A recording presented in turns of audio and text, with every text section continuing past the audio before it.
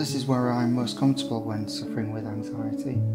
Sometimes I know when the anxiety is about to visit due to the physical symptoms, which in my case are pins and needles in face and hands.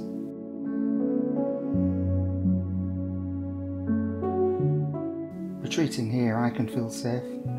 I can kick back and lose myself in the TV, something on Netflix, or even watching one of my favourite YouTubers. Anxiety is not understood by many. Anxiety, it's not rational.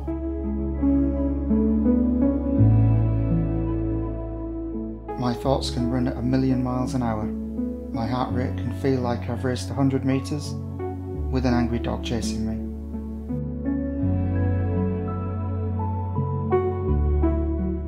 Here, I am safe. Here, I can see the light and colour of the world. Here, my thoughts are calm.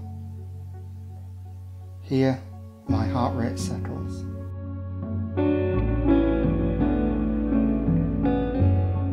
Here, anxiety will never beat me.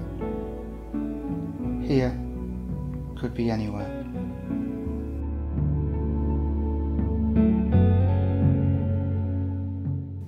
Here is my safe zone.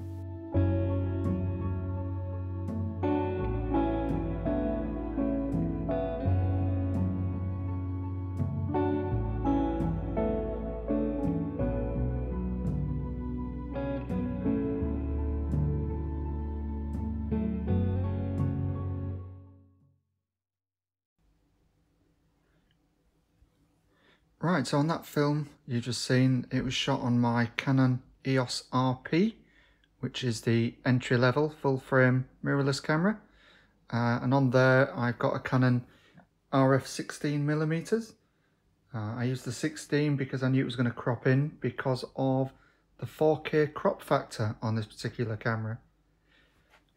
And on top is a Movo shotgun mic and it was shot in daylight but I had a little bit of light with this unbranded well that. It cost me nine pounds off eBay. And that is what I used to film it with